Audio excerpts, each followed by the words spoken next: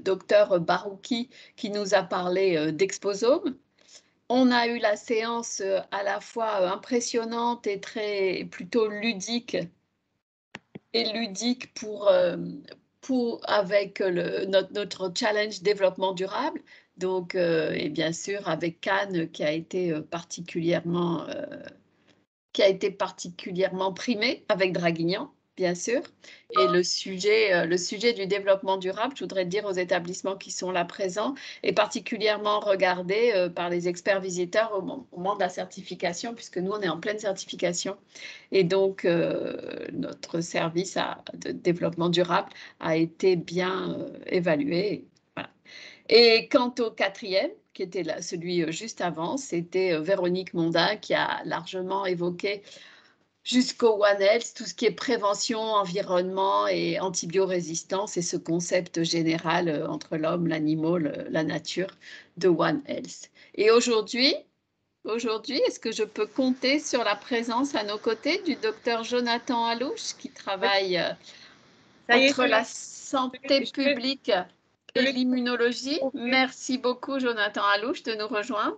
Il arrive vous que nous euh, attendions. Donc, pour présenter Jonathan Alouche, c'est un interne de santé publique qui a fait euh, plusieurs euh, choix avec nous, à la fois en termes de santé publique et surtout en termes d'immunité, et qui travaille avec le professeur Barbara Saïs-Polski, qui est souvent intervenu chez nous euh, pour l'immunité, pour l'immunité vaccinale et pour euh, l'immunité euh, Covid ces dernières années. Et Jonathan travaille en particulier avec elle sur son axe de recherche concernant santé et environnement et il fait le lien avec le département de santé publique et avec et ainsi Christian Pradier, l'immunologie et il va nous parler de ce qu'il fait en ce moment avec Barbara et, son équipe et qui est particulièrement passionnant et qui, j'espère, va tous vous passionner. Jonathan, à toi la parole. Euh, on n'entend pas, Jonathan. il faut allumer ton micro. Voilà, c'est bon. Ah, super, on y Je sors d'une réunion justement avec Barbara. Je à tout le monde d'enlever euh, la caméra et le micro et en fait, on, on enregistre. Voilà, on a démarré l'enregistrement. Parfait. Alors, merci Sylvia, merci euh, Colette. Euh, merci Christian aussi, même s'il n'a pas pu se joindre à nous. Euh, je suis très touché, très honoré de pouvoir m'exprimer au cours de cette CIPE. en effet, comme a dit Sylvia, voilà maintenant deux longues années que je travaille sur ces problématiques, sur cette problématique santé-environnement et plus particulièrement sur les déterminants environnementaux de la santé que sont la pollution de l'air et également pesticides perturbateurs endocriniens. Mais là, dans le cadre de ma thèse, on parlera surtout de pollution de l'air euh, qui constitue des projets de recherche que nous avons actuellement avec le professeur Saïd Polski et le professeur Christian Pradier et également docteur Laurent Bailly. Euh, j'étais là en réunion avec eux à l'instant euh, et je vous parlerai d'un énième projet qui regroupe plusieurs autres projets et qui est extrêmement prometteur pour toute, toute la métropole, on pourrait dire, euh, mais également euh, en stage, donc euh, à Atmosud, la structure dont je vous parlerai ensuite et qui est partenaire de, ces travaux. Voilà, donc je sens plus tarder, je vais essayer de partager mon PowerPoint parmi toutes les fenêtres que j'ai ouvertes. Voilà. Est-ce que c'est bon pour vous? Parfait. Oui, c'est bon, c'est bon. OK. Donc, euh, voilà la première partie euh, dont nous allons parler euh, aujourd'hui, en fait, et qui, les deux parties touchent en fait, à la pollution atmosphérique en recherche clinique, en santé environnement, en fait, et je vous présente ici un exemple d'utilisation des données de pollution atmosphérique en santé. Et là, en l'occurrence, on s'intéresse à la réponse immunitaire. Euh, l'étude en question s'appelle euh, Les variations euh, de pollution atmosphérique entraînent des variations d'interféron gamma, de réponse immunitaire. et en fait, on va, au cours de ces travaux, étudier l'impact de l'exposition sur l'ensemble de la réponse immunitaire. C'est le projet Covimmune 2, voilà, qui est porté par les équipes que je vous présenterai au cours de ces travaux. Donc tout d'abord, nous allons faire un constat qui est alarmant, que tout le monde a à peu près entendu au cours de ces derniers euh, jours. C'est vrai qu'on parle beaucoup de santé environnement. Euh, c'est euh, l'impact de la pollution de l'air ambiant en partant du niveau mondial, en fait, hein, puisqu'en septembre 2021, il y a une actualisation des normes en matière de pollution atmosphérique par l'Organisation mondiale de la santé, avec, vous le voyez, près de 4,2 millions de décès qui sont attribuables chaque année à une pathologie qui est associée à la pollution de l'air ambiant. Vous voyez ici une cartographie euh, haute résolution euh, qui est obtenue, euh, ça paraît un peu curieux, mais qui est obtenue par des capteurs situés partout dans le monde, sur tous les continents.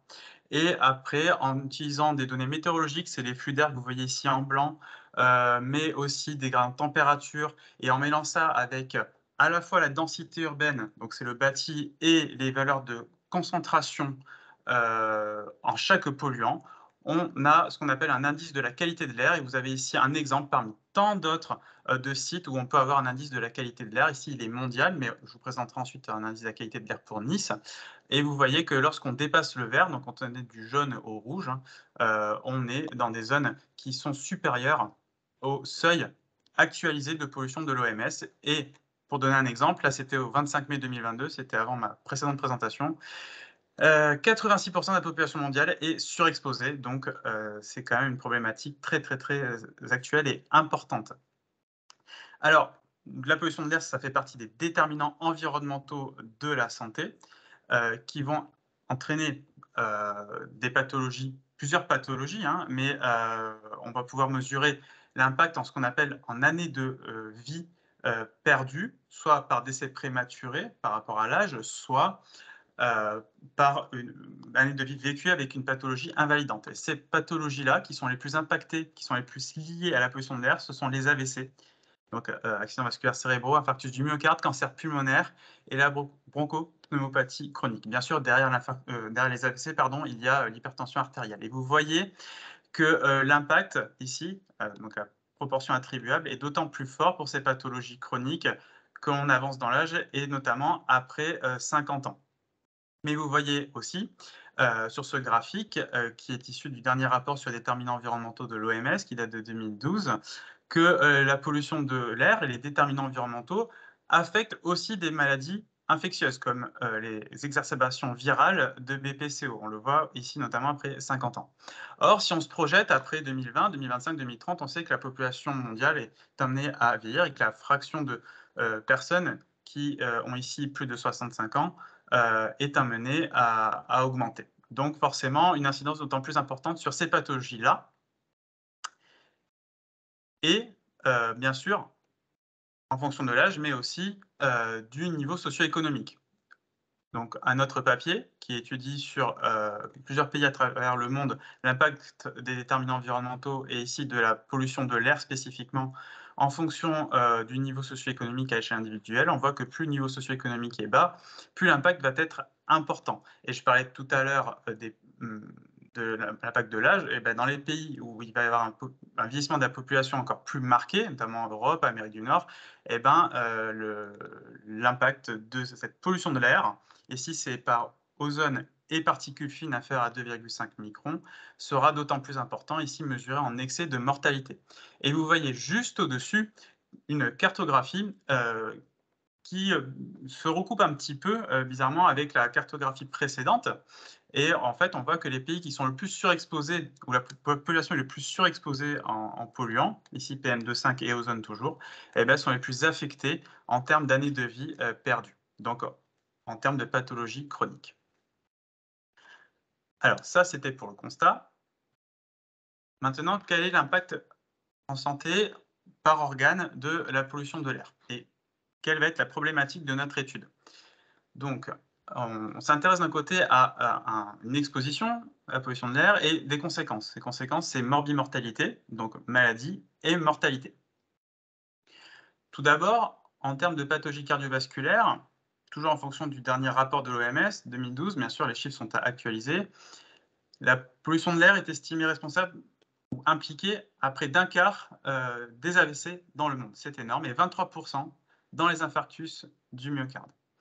Sauf que vous voyez ici une étude, qui est en fait une étude de cohorte multicentrique à travers six pays en, en Europe en 2020, dont des cohortes françaises, et qui mesure l'impact sur la mortalité cardiovasculaire euh, en fonction des niveaux de PM2,5, donc particules fines, et NO2, c'est le dioxyde d'azote.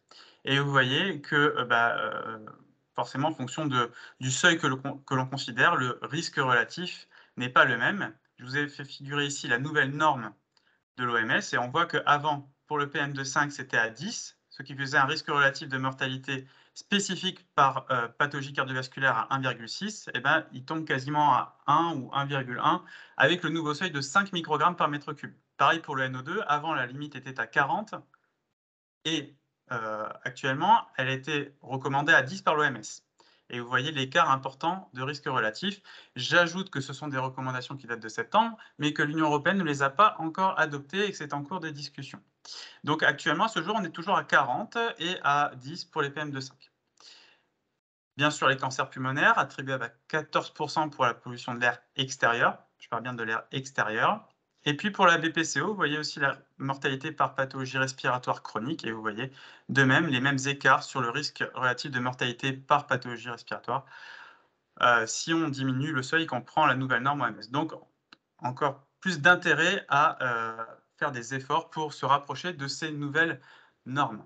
Et vous voyez que 8% euh, des pneumonies, des infections virales, sont attribuables à à la pollution de, l'air. Alors, ça, c'est pour les associations épidémiologiques.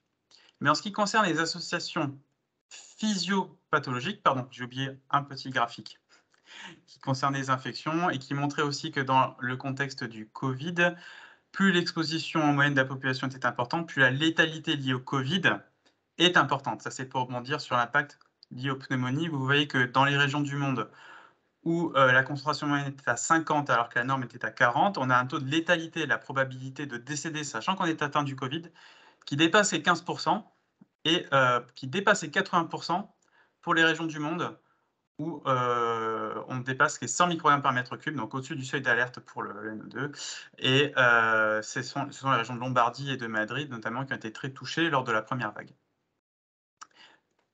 Donc voilà pour l'épidémiologie. En ce qui concerne l'association physiopathologique, qu'est-ce qui va faire en fait que euh, cette pollution de l'air va être impliquée à la fois dans les pathologies infectieuses et chroniques?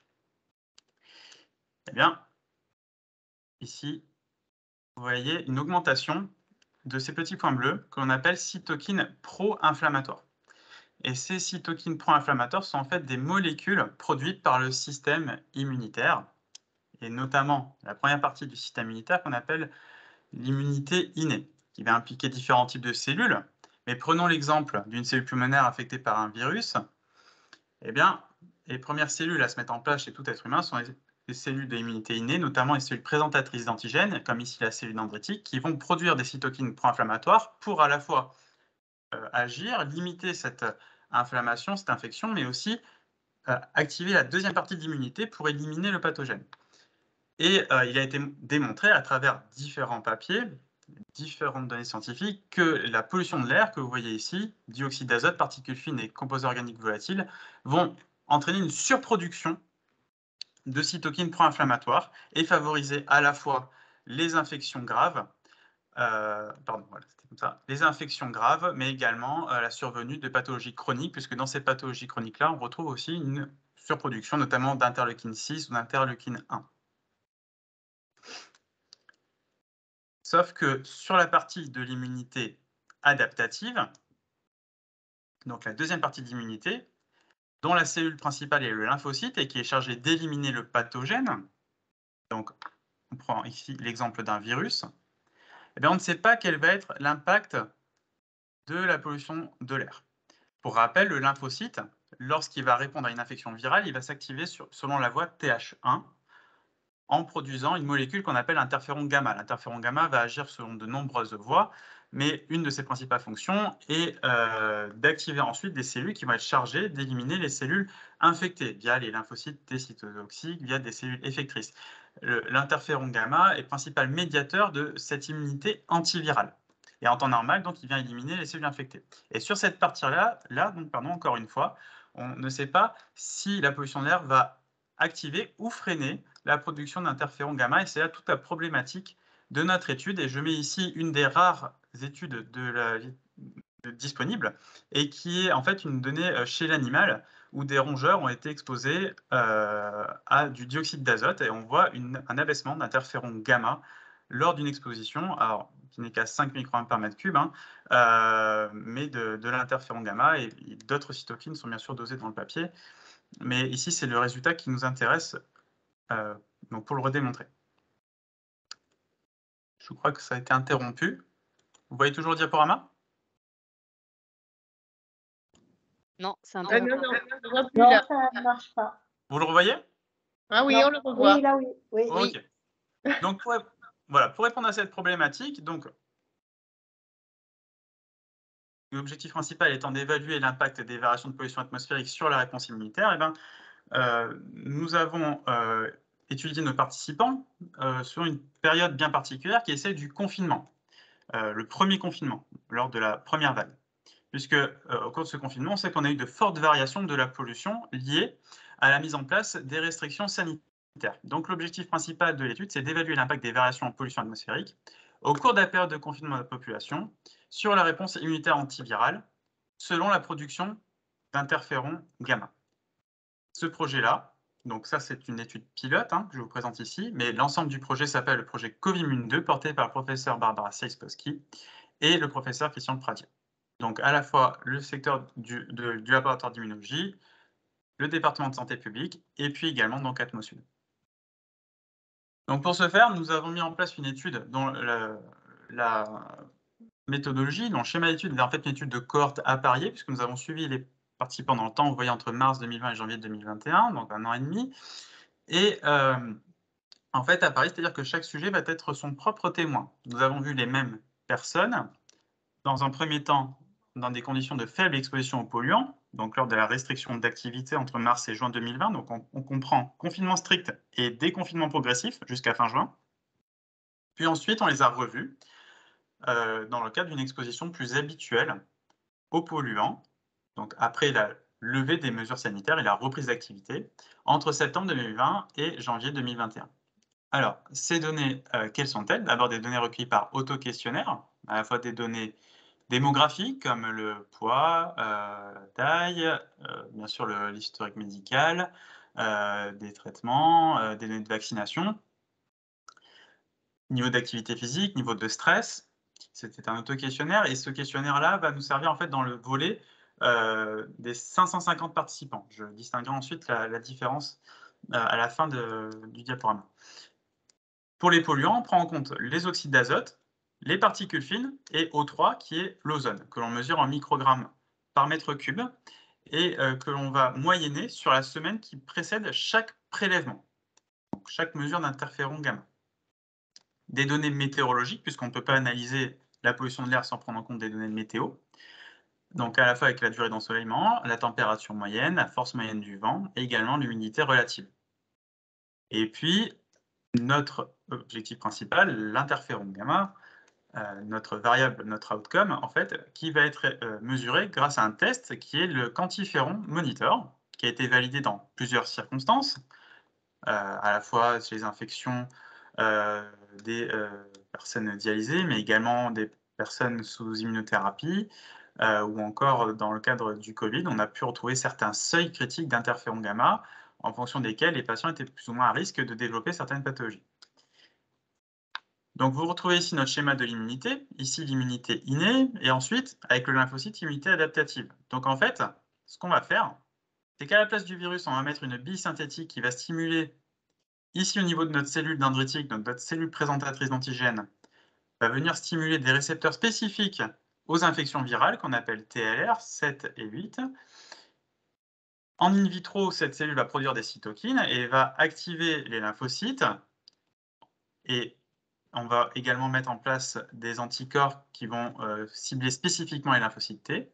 Et puis, on va choisir de doser parmi toutes ces voies-là la voie TH1 et donc mesurer la réponse la production d'interféron gamma en mimant une infection virale en général. On n'a pas mis de Covid, on n'a pas mis de grippe, on n'a pas mis de VRS, c'est une infection virale en général. C'est la capacité de l'organisme à réagir à une à une, infection virale.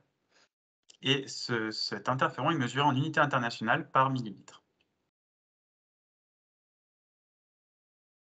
Alors, tout d'abord, concernant les résultats d'études, donc ici, je vous présente des résultats sur 58 participants, c'est les résultats de la thèse, mais c'est aussi les résultats de cette étude qui est euh, en cours de soumission à la littérature et euh, qui a été donc cette étude pilote qui est en, train d'être confirmée sur l'ensemble de la cohorte Covimune 2 qui comprend 550 personnes. Donc, les premiers résultats ont montré tout d'abord de fortes variations d'oxyde d'azote, donc NO, NOx et NO2, pendant et après la période de confinement. Donc, ce sont ici des cartographies que j'ai pu reconstruire sur euh, les deux périodes où on a vu les participants, donc euh, entre mars et juin, et puis l'autre entre septembre et, janvier. Et vous voyez que clairement, si on prend à l'échelle globale, enfin à l'échelle de, de, toute la ville, puisque les participants étaient en fait des soignants du CHU de Nice. Pourquoi des soignants? Parce qu'ils ont continué de se déplacer malgré le confinement et qu'on utilisait comme valeur d'exposition le lieu de travail, Archer ou Pasteur. Donc, en fait, nous avions deux stations, une qui est à, cet endroit, euh, qui est la station sur la promenade des Anglais, euh, à proximité du quartier Magnan, euh, que l'on a utilisé pour mesurer l'exposition des soignants qui, étaient sur la région ouest, donc de l'Archer, et pour les soignants qui étaient sur la région de Pasteur, donc le capteur qui se situe au niveau de Arson. Et vous voyez que même si ce n'est pas collé à l'hôpital, clairement, on, a les mêmes variations pour les deux capteurs pendant et après le confinement, à savoir une forte hausse, on peut le voir ici avec la cartographie. Mais c'est plus précis quand même avec les courbes qui vont apparaître.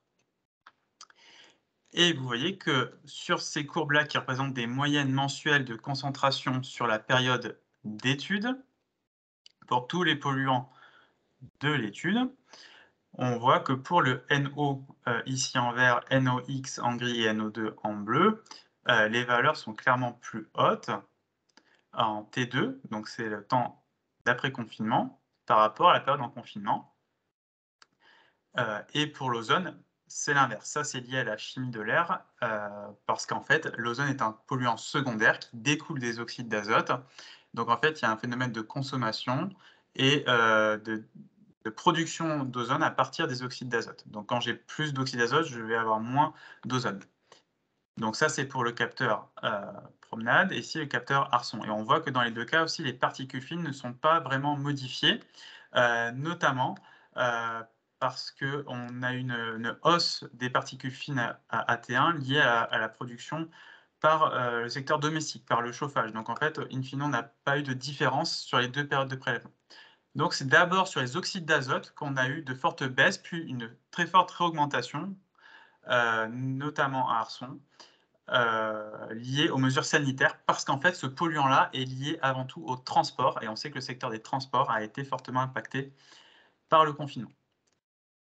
Donc, d'une part, une hausse des polluants azotés et d'autre part, pour notre interféron gamma, une diminution, puisque vous voyez une diminution de 37% post-confinement de la production d'interféron gamma par rapport à la période de confinement. Vous voyez ici un graphique qui représente l'ensemble des valeurs AT1, AT2 pour tous les participants ici en gris, puis la moyenne des différences ici, on voit que c'est une diminution euh, AT2 par rapport à T1 de 37%. Euh,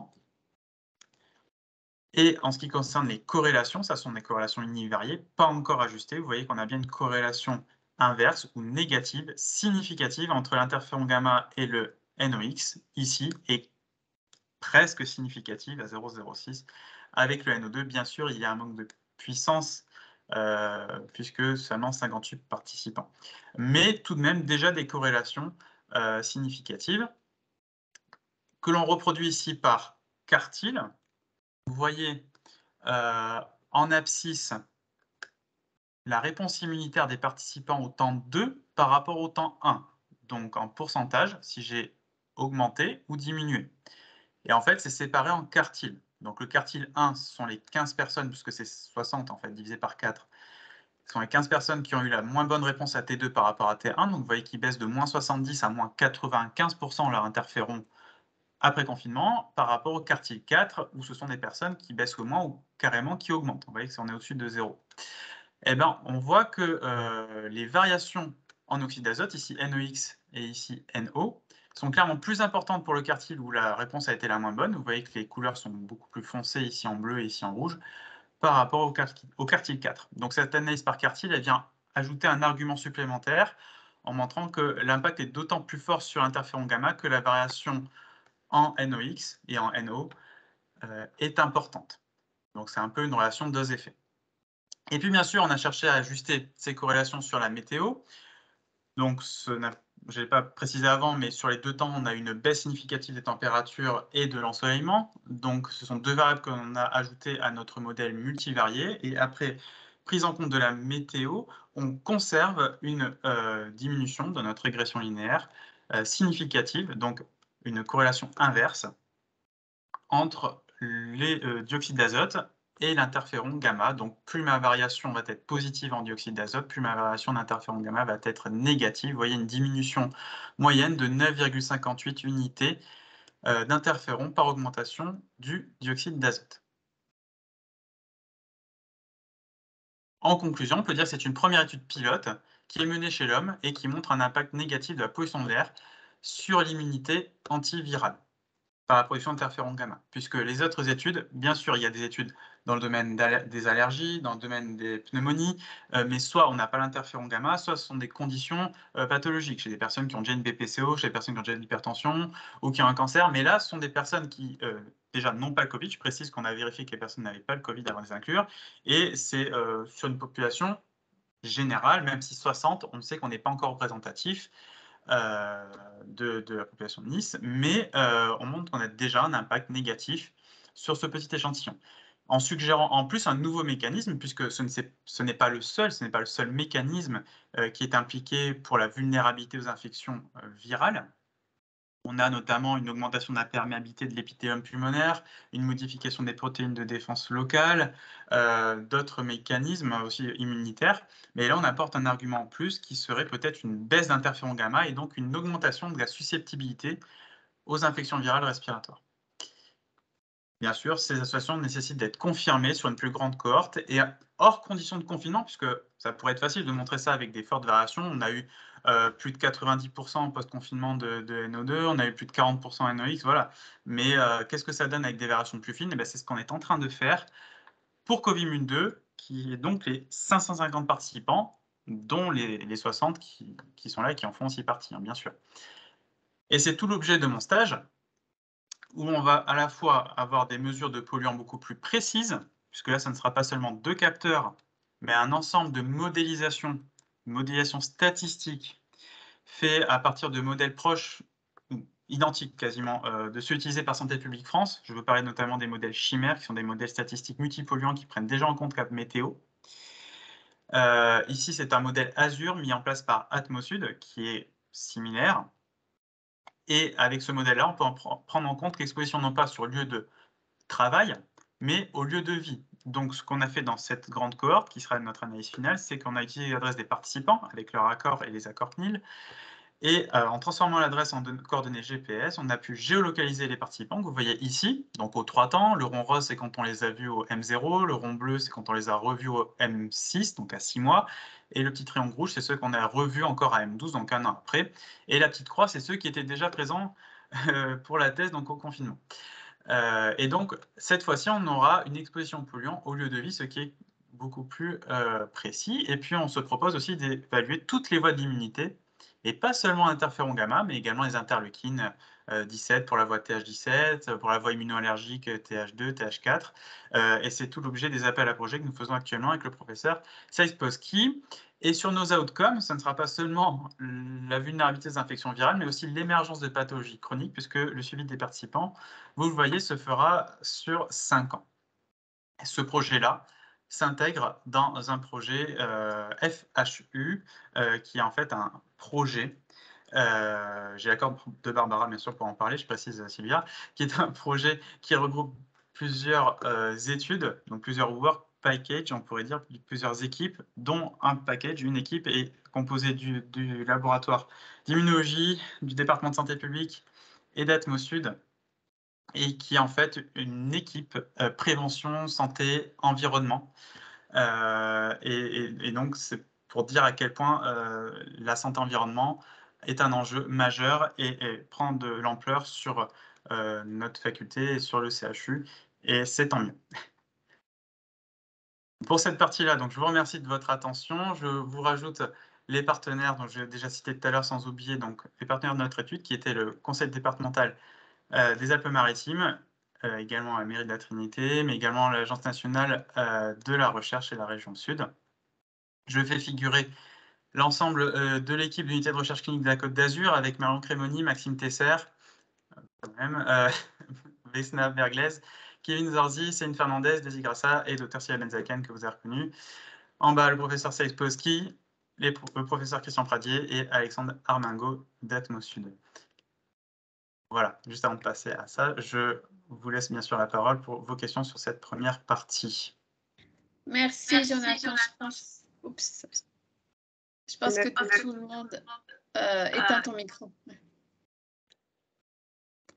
Je pense que tout le monde a été euh, passionné, euh, comme on l'est au quotidien, sur ce sujet.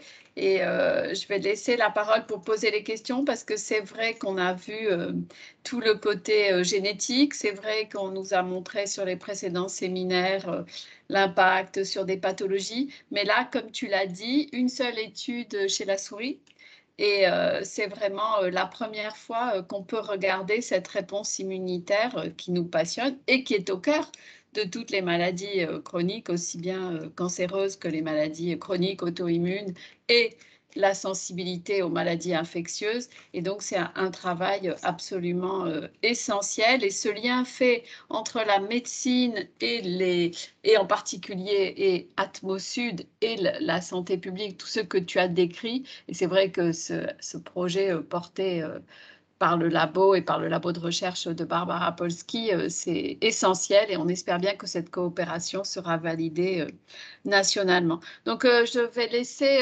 poser les questions à, Jonathan. Est-ce qu'il y a des questions par main levée ou par écrit ou par oral? Prenez la parole, n'hésitez pas, je pense.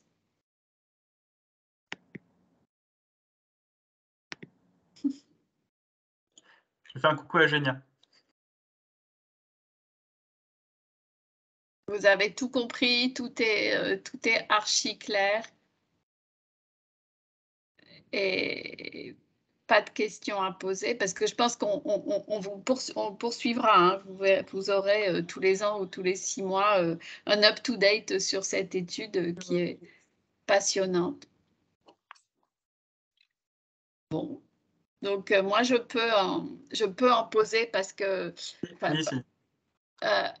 à, propos de cette étude et en particulier, euh, Jonathan, le, euh, lockdown, le, confinement va pas revenir. Euh, revenir. Donc là, tout ce que vous allez étudier et que tu as montré là sur où habitent les gens et de façon très très fine, il va y avoir des différences. Tu as montré avec les quartiles qu'il y avait encore des différences selon les quartiles de, de niveau de pollution et, et donc ça va, ça va être il vous faut plus de patients, plus de population pour ça, plus de, représentants dans l'étude euh, ou, ça arrive à être significatif, comme vous l'avez montré là, avec 15 euh, patients par quartile, ça suffisait. Ou ça va être plus compliqué puisque les différences, ça va être euh, des différences météorologiques que vous allez avoir et, vous aurez plus le côté lockdown et diminution à 80% des polluants. Ça, j'ose espérer qu'on n'aura plus ça. Donc, ce sera possible? Euh, Première question. Euh, disons que euh, je, remets toutes mes questions en tête. Hein. alors. est-ce que est-ce qu'il y a besoin ma, question ma question plus simplement posée c'est est-ce que tu as besoin de, pour augmenter la puissance de cette étude, est-ce que tu as besoin d'un nouveau confinement? Ce que je voulais dire, c'est que déjà, le, confinement en soi est une opportunité unique euh, d'étudier euh, euh, cet effet-là, cet, impact-là, parce qu'on n'est pas prêt de revoir des, confinements similaires au premier confinement. donc, ça va être d'autant plus dur de reconfirmer ces résultats ensuite, et c'est pour ça qu'ils sont encore plus intéressants pour la littérature scientifique. maintenant, pour le deuxième volet de l'étude, on va quand même prendre en compte les variations de polluants, parce qu'en fait, nous, ce qu'on veut, c'est montrer qu'en conditions de vie proches de la normale, donc hors confinement, on, a, on peut essayer de calculer, entre guillemets, ou de, de voir en fonction des conditions météo, mais aussi de pollution. Donc ça, ça fait un ensemble. En fait, c'est les conditions environnementales. Nous, ce qu'on va essayer de voir, c'est en fonction de l'habitat des participants, puisque j'ai dit qu'on avait un questionnaire, donc, en mêlant à la fois les réponses des participants, c'est-à-dire s'ils sont proches d'une voie rapide, s'ils sont proches d'une autoroute, s'ils habitent en centre-ville, s'ils habitent en milieu rural, mais aussi de leur adresse. Donc, qui dit adresse dit milieu plus ou moins pollué, mais on va mesurer leur exposition aux polluants qui sont directement ajustés sur la météo, donc c'est-à-dire la météo aussi en fonction de là où ils vivent. Donc, on va avoir en fait une vision globale de l'environnement de cette partie de l'exposant, j'ai envie de dire, pour, euh, pour nos participants-là. Et donc, on va essayer de voir, en fonction de l'environnement de chacun, bien sûr moyenné euh, sur l'ensemble, hein, ben, comment euh, l'interféron réagit sur nos tests. Alors, les tests ont déjà été elle a maintenant réalisé, ils ont, ils ont fini d'être réalisés maintenant, mais il nous manque donc cette partie environnement-là qu'on est en train de finir, c'est pour ça que je suis chez Atmosud, donc pour finir cette partie environnement. Et donc, on va essayer de voir en effet si on remontre le même impact de la pollution, ajustée sur la météo, ajustée sur d'autres paramètres, sur l'interféron gamma, en conditions de vie, hors confinement.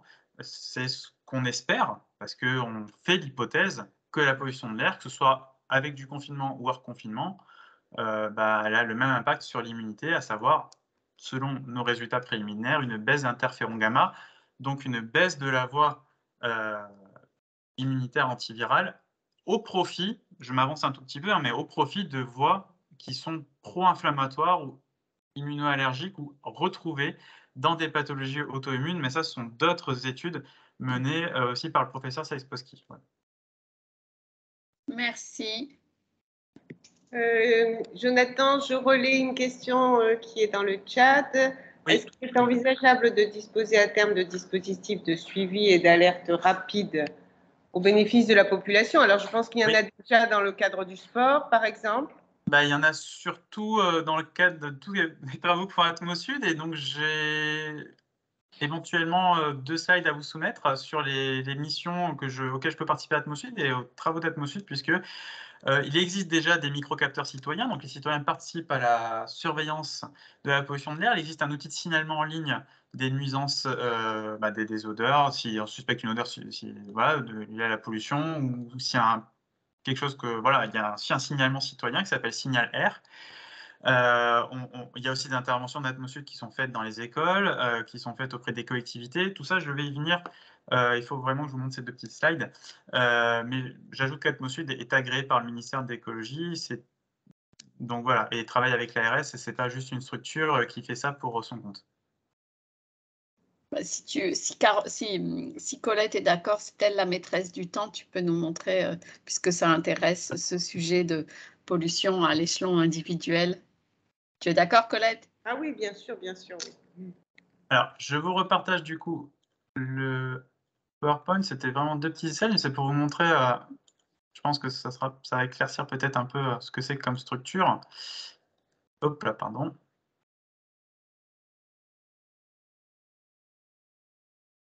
Voilà.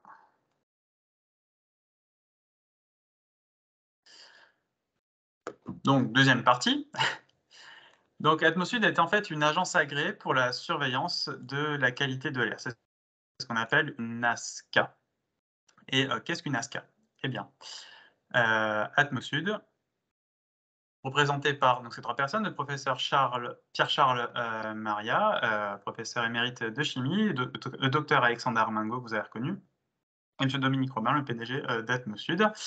Atmosud est membre de la Fédération Atmo-France, qui regroupe 19 agences agréées pour la surveillance de la qualité de l'air en fonction des régions. Alors, pourquoi une fédération? Ben, En fait, parce qu'il y a un cadre législatif. Et ce cadre, le voici. Euh, vous voyez qu'Atmosud, ça ne date pas d'hier, ça date de 1972 en fait, hein. euh, avec un observatoire de la qualité de l'air des Bouches-du-Rhône qui a ensuite été étendu à toute la région PACA.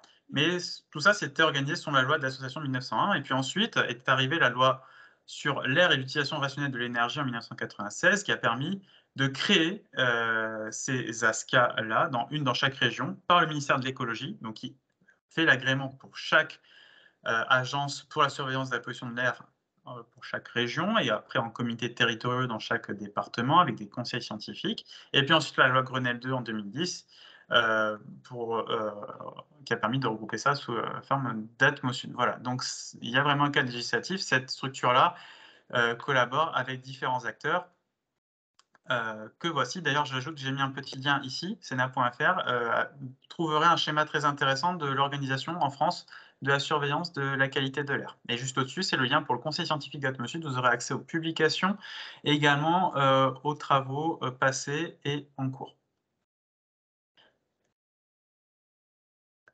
Donc, Atmosud répond à trois grandes missions de santé publique. La première, c'est surveiller. C'est un observatoire de la qualité de l'air avec des mesures, à la fois des stations fixes, comme j'ai parlé tout à l'heure à Arson et à Promenade, ou des capteurs temporaires qui permettent de mobiliser ces capteurs euh, sur des régions, euh, sur des temps donnés, en fonction des besoins. Les inventaires d'émissions. L'inventaire d'émissions, c'est quand je vais euh, faire une analyse par secteur des émissions de polluants. Donc, en fonction du secteur de transport, secteur euh, résidentiel, donc production de chauffage domestique, agriculture et autres. Les modélisations, ça j'en ai parlé tout à l'heure avec la cartographie. Et puis il y a la partie citoyen avec petit signalement, un micro-capteur citoyen.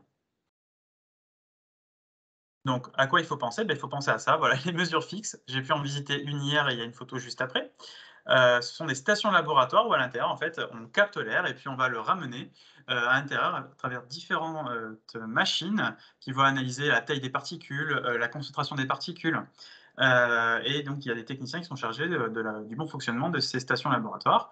Et puis, juste au-dessus des mesures temporaires, vous retrouvez les capteurs mobiles dont je viens de parler. Ça nous permet de mettre en place euh, des émissions de polluants en fonction des secteurs et des cartographies d'exposition. Et vous retrouvez ce fameux indice de la qualité de, l'air, euh, bon, modéré, mauvais, tout ça, euh, sur une reconstruction ici de, Nice, de la métropole de Nice. Et ça, c'est accessible sur le site Atmosud. J'ai des liens juste après. Et la partie citoyenne, vous retrouvez ici donc signal air. Vous rentrez un lieu et puis vous aurez un formulaire juste ensuite qui permet de cocher des cases ou de. C'est des questions qui vous sont posées sur euh, ce que vous pensez être une nuisance, une pollution à laquelle vous êtes, euh, vous êtes exposé et que vous souhaitez signaler parce que vous ne trouvez pas d'informations à ce sujet. Vous retrouvez ici euh, la participation à la surveillance à la fois individuelle avec des microcapteurs. Donc, vous pouvez retrouver sur le site un lien qui vous permet de faire une demande si vous souhaitez participer. Bien sûr, là, vous n'êtes pas agréé, hein, mais vous pouvez participer à des méthodes expérimentales pour surveiller la qualité de l'air, donc être un citoyen engagé. Atmosud accompagne cet engagement-là citoyen, euh, donc pour mesurer euh, chez vous la pollution de l'air. et puis ici, vous voyez des interventions dans les écoles avec des modules air. Ce sont des petits capteurs dans les écoles pour essayer de montrer aux enfants quand, la qualité de l'air est bonne ou moins bonne pour chaque polluant euh, qui sont les mêmes de ceux dont j'ai parlé dans, ma thèse d'ailleurs. La deuxième euh, mission, c'est protéger et prévenir, donc euh, protection de la population et prévention de la santé, en informant le grand public, mais également des personnels scientifiques, et puis en aidant aux décisions des autorités sanitaires, notamment de l'ARS, en mettant en place les indices de qualité de l'air, j'en ai parlé, mais aussi indices polliniques, puisque qui dit pollution de l'air dit toute substance qui est anormalement présente dans l'air, et donc, euh, il n'y a pas que les gaz, il n'y a pas que les particules, enfin les particules, il y a aussi les grosses particules comme les pollens, mais également des organismes biologiques, comme ça peut être des spores de bactéries, ça peut être des champignons, ça peut être des virus, tout ça fait partie de la pollution de l'air. À quoi il faut penser pour cette partie? Eh ben, Vous voyez ici une intervention dans les écoles pour apprendre un petit peu aux jeunes euh, ce que c'est que la pollution. Vous pouvez retrouver, vous aurez le lien après, les recommandations de comportement euh, en cas de pic de pollution. Euh, c'est un PDF qui est téléchargeable, qui a été fait à la fois par Atmosud, l'Adréal et euh, l'Agence régionale de santé. Et puis vous retrouvez également Atmosud sur les réseaux sociaux. Vous voyez par exemple un tweet Attention, vigilance à la pollution ici du 14 juin, donc c'était hier à Lausanne, autour de, l'étang de Berre, dans le Vaucluse, euh, ou voilà, vers Arles, où il y a un gros pic de, de pollution. et donc derrière, donc, qui dit alerte dit comportement adopté. Vous retrouvez sur le site des indices Atmo. Vous pouvez cliquer sur Nice et vous voyez qu'ici, il, est modéré, avec un risque pollen à 3 sur 5, donc assez élevé. Et puis des programmes, des programmes mis en place comme L'air et moi, qui est un programme pédagogique développé nationalement. Vous aurez le lien aussi. et qui permet à des chercheurs, à des structures comme Atmosud d'intervenir auprès des parents d'élèves, des écoles, pour justement faire ce que vous voyez en haut, de la prévention auprès des jeunes et apprendre ce que c'est que la qualité de l'air. Dernière mission, c'est améliorer les connaissances et promouvoir un environnement favorable à la santé. Je rappelle que la pollution de l'air est un déterminant de la santé, déterminant environnemental de la santé, que dans la charte d'Ottawa, une des, critères de la charte d'Ottawa, c'est un environnement favorable à la santé. Donc, il y a la participation citoyenne, les ateliers thématiques en santé, et puis également de la coopération internationale. Donc, j'y participe aussi. Vous voyez que euh, Atmosud a des partenariats euh, avec euh, à la fois d'autres euh, projets en France, j'en présenterai un tout à l'heure, qui est le projet Nature for City Life, mais aussi des partenariats avec différentes villes, différents pays. Par exemple, en Italie, où il y a un projet de surveillance des pollutions au niveau des ports de Méditerranée, avec Gênes, Marseille, Nice, voilà, par exemple. Hein. et puis, vous retrouvez euh, ici une image euh, d'un forum où on a invité les collectivités, euh, puisqu'il y a des collectivités qui travaillent avec Atmosud, en lien avec Atmosud, pour essayer d'informer après à l'échelon local. Donc on va les, un petit peu leur montrer les, récents résultats et leur dire comment elles peuvent agir à leur échelle. Puis bien sûr l'université, j'en ai parlé avec l'unité de recherche, et sans oublier Marseille, puisque c'est il y a deux sites pour Atmosud, c'est Nice et Marseille. Et puis des MOOC, oui, oui, il existe un MOOC dans le cadre du projet Nature for City Life, je vais en parler juste après. Vous voyez les liens qui sont ici. Euh, vous les aurez, je peux envoyer la présentation, euh, donc à la fois pour les réseaux sociaux et puis tout ce dont j'ai parlé. Donc trois grandes missions de santé publique en partenaire avec quatre collèges d'acteurs en interaction permanente. Les services de l'État, notamment les ARS, les collectivités territoriales, donc Métropole Nice Côte d'Azur, mais il y a aussi Sophia Antipolis, Cannes, Pays de l'Érins, Grasse euh, et beaucoup d'autres, euh, des représentants des activités émettrices de polluants. Pourquoi? Parce que euh, bah, sont, elles sont aussi demandeuses de comment réduire leurs émissions de polluants. Et puis dans, hein, les, financements d'atmosphère, c'est à la fois les services de l'État européen, mais aussi sur la base TGAP, donc activité polluante donc partenariat avec la CCI, mais également l'aéroport du Côte d'Azur, entre autres. Et puis enfin, les associations de protection de l'environnement, donc les collectifs citoyens 06, qui est quand même très important, euh, ou l'association euh, niçoise de la qualité euh, de l'air. Je viens d'en parler, le projet Nature for City Life, eh bien on était hier, ça s'est passé à la maison de l'étudiant, vous voyez ici Alexandre Armingo qui a présenté les résultats de ce projet-là, qui est un projet européen à plus de 3 millions d'euros, avec huit partenariats, qui est en fait un projet de à la fois promotion, revégétalisation des, euh, des milieux urbains et euh, augmentation des parcours, euh, des parcours comment dire, de, des promenades, des parcours végétaux, pour en fait pour promouvoir le développement de la nature en ville. Donc pour montrer à quel point en fait hein, la qualité de vie est impactée par euh, la proportion de nature qu'il y a dans les centres urbains et pour lutter aussi contre les îlots euh, de chaleur. C'est un projet européen. Vous voyez ici une visite guidée euh, qui a été faite notamment de la station Arson, que vous retrouvez là juste derrière. Donc on, essaie, là on implique vraiment les citoyens, les collectivités et plusieurs acteurs. Et puis je vous passe ce flash code. Vous avez le site du projet ici. En flashant ce flash code, vous aurez accès avec votre smartphone à euh, un index de qualité de l'air euh, pour, bah, pour différentes stations de Nice. Mais alors vous allez me dire pourquoi faire sur Internet? Parce que bah, au final, oui, ça serait mieux en vrai. Et sur chaque station, donc à Arson, à Promenade, sur toutes les stations fixes, il y aura des affiches accrochées ici aux grilles des parcs ou quoi. Vous pourrez flasher ce flash code et accéder à la qualité de l'air en temps réel. Et vous voyez qu'actuellement, il est bon. Donc, vous allez sur ce flashcode, vous allez sur euh, accès aux données, vous cliquez sur le capteur que vous voulez. Vous avez l'index de qualité de l'air, mais également le suivi des concentrations en temps réel, ici, par exemple, pour euh, Nice-Arson. Euh, donc, on se renseigne, on s'engage, on s'informe et on essaie de changer le monde. voilà. Merci, merci, merci. On va tous essayer ensemble. Il y a une question dans ce sens, justement. Euh, de Aurélie Cadia qui nous dit euh, comment limiter euh, sa propre pollution de l'air à titre individuel. à part utiliser le moins possible sa voiture. Alors, je pense qu'il y a deux aspects dans la question, c'est comment éviter de participer à la pollution de l'air et peut-être aussi, veut-elle dire, comment ne pas profiter individuellement de la pollution de l'air.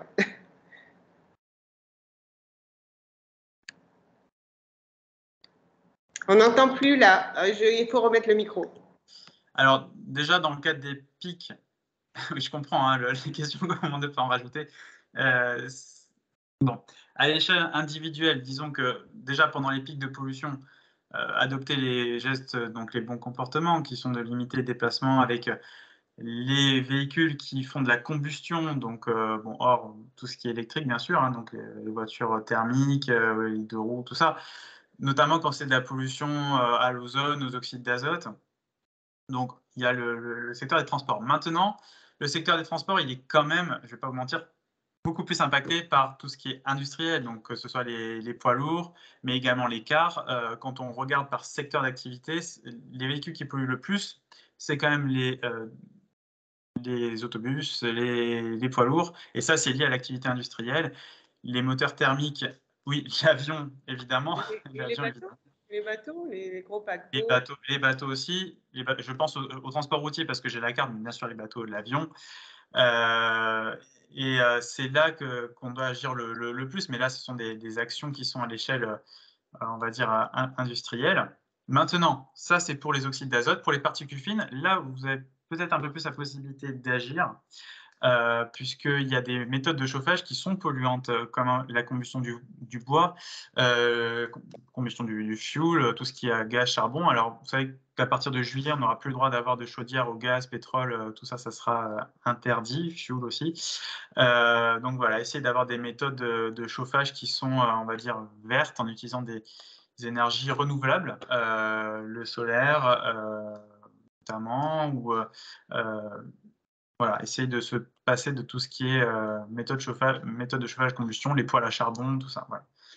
Euh, après, pour euh, d'autres aspects, ça c'est pour l'option de, l'air extérieur. Hein. Pour l'ozone, on peut rien y faire parce que c'est un polluant secondaire et qui découle des polluants primaires. Donc, c'est secteur industriel, agriculture et à l'échelle domestique. Donc, l'échelle domestique, là, l'échelle individuelle, c'est la seule sur laquelle on peut agir. Maintenant, industrie et agriculture, là, ça reste de l'action plus générale, régionale, nationale.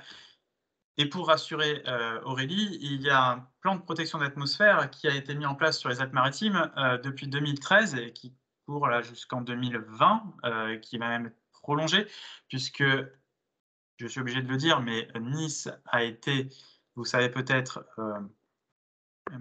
pointé du doigt, ou voilà, par la Commission européenne, par l'Union européenne, parce qu'il y avait des dépassements trop fréquents euh, des valeurs seuils de l'OMS, notamment jusqu'en 2013.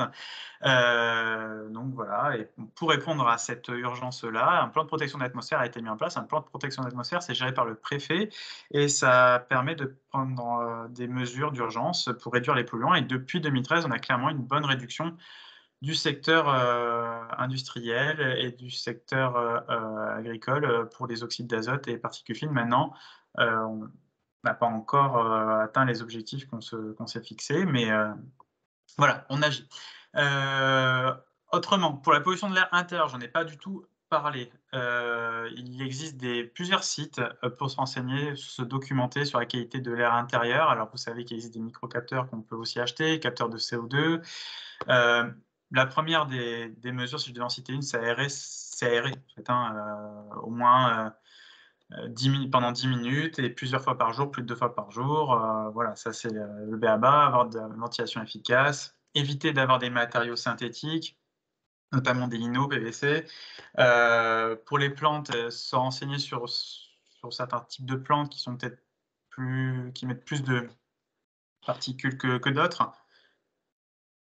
Oui, aérer quoi qu'il arrive, c'est toujours une bonne, c'est toujours une bonne solution. Ça permet de, disperser euh, à la fois euh, des polluants que j'ai parlé, particules fines liées au chauffage, sans oublier le monoxyde de carbone, en hein, fait, de réviser aussi euh, vos chaudières, tout ça, mais aussi les pesticides et perturbateurs endocriniens qui peuvent se retrouver dans l'air et qui, eux, sont liés ben, à tous les meubles, à tout ce qui est au sol, à tous les matériaux que l'on a. Donc réduire l'usage des produits aérés notamment. a... Oui, oui, bien sûr, oui, bien sûr. Et là, derrière, c'est essayer d'utiliser des produits moins chimiques que la javel, que des, produits achetés en grande surface qui ne sont pas écolabels. Voilà. Merci Jonathan, ça nous a fait un, rappel sur tous ces. Il y a, Aurélie qui, qui insiste là. Ok Aurélie, on va. Mais sur le plan euh, intérieur, tu nous donnes une piste et je pense que la prochaine fois, on va évoquer, euh, et on a en particulier au, CHU avec Tui Colon, qui, euh, et, qui ont un projet, qui, mm. qui, qui, gère le projet Muse et qui est justement à propos de l'ambiance et qui évalue, qui mesure tout ce qui est environnement intérieur. Mais je ne connais pas les travaux sur. Enfin, il y a des travaux connus aussi sur l'impact sur la santé et c'est bien pour une prochaine une prochaine. On a tenu euh, exactement, s'il n'y a pas d'autres questions, un, une mini, un mini commentaire. Et après, on... Oui, j'arrêterai là, mais je n'ai pas regardé toute l'Assemblée, mais s'il y a des parents, mères de famille, pères de famille, euh, qui sont là et qui ont des enfants qui sont très allergiques, on parlait de qualité de l'air intérieur, je rebondis sur Tuicolon et sur Muse. Il existe un nouveau métier, peut-être qui n'est pas bien connu, qui est conseiller euh, médical hein, en air intérieur. Euh, et ça, ça peut se demander, on peut avoir des consultations euh, avec, via l'allergologie, via votre médecin généraliste, tout ça, pour faire une enquête à la maison où on va prélever de l'air, on va regarder un petit peu s'il y a des moisissures, s'il y a des choses qui peuvent polluer l'air et favoriser les pathologies de l'enfant notamment. Oui, effectivement, on a eu une journée CIP en 2019, je crois, avec, qui était organisée par Thuy Colomb et Rémi Colomb sur la pollution de l'air intérieur et on va renouveler pour euh, effectivement pour le refaire à distance et où elle nous avait présenté ce nouveau métier euh, qui, la concerne puisqu'elle s'est formée elle-même. Une dernière question que je, que je relais, c'est la question de Nathalie Ronvière. Combien de capteurs sur le 06 Et si tu veux, ce sera la question euh, conclusion. Alors, en station fixe, euh, en station fixe, euh, si ma mémoire est bonne, j'aimerais bien avoir une anti-sèche sur moi. Nathalie, mais tu as donné tous les, tu as donné tous les, tous les liens. Je pense que c'est vraiment. Il y en a plus que deux. En tout cas, ça doit évoluer. de mémoire, il y en a quatre. Il y en a une sur au nord de Nice vers Carros. Il y a Promenade va donc et Arson. Il y en a une également qui est à l'ouest, j'ai oublié le nom. Donc, mais après, il y a aussi tous les capteurs qui sont temporaires, qui sont mobiles et qui permettent euh, d'aller en fonction des besoins sur différentes zones. Et là, il y en a plus d'une vingtaine qui sont répartis un peu partout sur Nice. Et donc, certaines personnes demandent ton diaporama. Donc, si tu es d'accord, on le mettra en ligne sur le site de la CIP. Et ta présentation sera euh, disponible sur la chaîne YouTube. Avec euh, plaisir. voilà, je... Très honoré. Sans problème. Ok, donc euh, merci beaucoup de cette présentation. Et puis, ouais, super, de cette super présentation. Un dernier mot, Sylvia? Non, merci. Merci euh, pour ce travail. Donc, euh, Jonathan s'est complètement investi là-dedans et merci à toute l'équipe de recherche qui, qui vraiment travaille sur ce sujet euh, santé et environnement et immunité et environnement parce que je pense que dans les prochaines années, on va expliquer beaucoup de choses et surtout, on va permettre de la prévention parce que le sujet, c'est là aussi et il ne faut pas oublier on, est, euh, on doit beaucoup insister sur le côté préventif et je pense que c'est en travaillant sur notre environnement qu'on pourra travailler euh, sur la prévention plus que sur le curatif en santé. Et ça, c'est un des enjeux des prochaines années pour les jeunes médecins euh, comme, comme Jonathan. Merci à tous, merci à tous de votre fidélité. Pour conclure, en fait, merci à tous aussi de votre fidélité, comme disait Sylvia. Et juste, euh, en fait, n'hésitez pas à nous faire parvenir euh, des suggestions de thèmes que vous aimeriez traiter sur notre euh, année environnement, prévention et environnement. Donc, Sylvia a rappelé au début les, les, thèmes qu'on a déjà traités au premier semestre. Le programme du deuxième semestre n'est pas bouclé complètement. Donc, vos suggestions, que ce soit dans le chat ou par mail, sont les bienvenues. Merci à tous et bonne soirée. Merci pour l'organisation. Bonne soirée à tous. Ciao, ciao. Ciao. Merci. Au revoir, Virginia. Allez, ciao, ciao. Ciao.